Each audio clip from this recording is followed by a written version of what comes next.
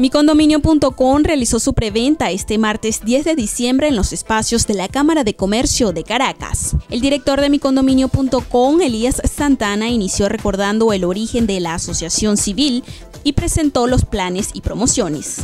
Para presentar nuestros planes, para presentar nuestros proyectos, buscando fundamentalmente alianzas en el mediano y en el largo plazo con las empresas y los profesionales que tienen productos y servicios para los condominios. Tibaira Altuve, coordinadora nacional de micondominio.com, abordó el tema del portal web micondominio.com y mi condominio en la radio. Mi condominio en la radio es una extraordinaria oportunidad para tener contacto con aquellos condominios que quieren soluciones directas.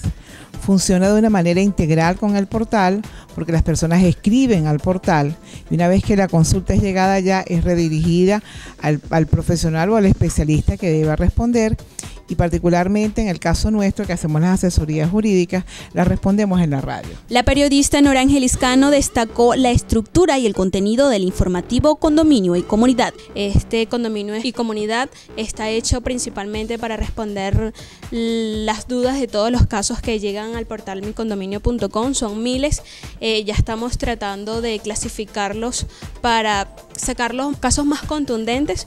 Estos mm, son respondidos tanto por Como por Elías. El ingeniero Dagoberto Núñez explicó brevemente mi vecindario, la herramienta para gestionar condominios. El software vecindario es un software diseñado para ayudar a gestionar, gerenciar y administrar comunidades. Todos los días hay personas entrando para ayudar a gestionar mejor su comunidad. Con esta innovación, a ustedes como proveedores van a poder estar allí para cada uno de ellos. Para el año 2020, micondominio.com cumple 20 años. Finalmente se presentó los planes de programación, productos y servicios para las comunidades que viven en condominio.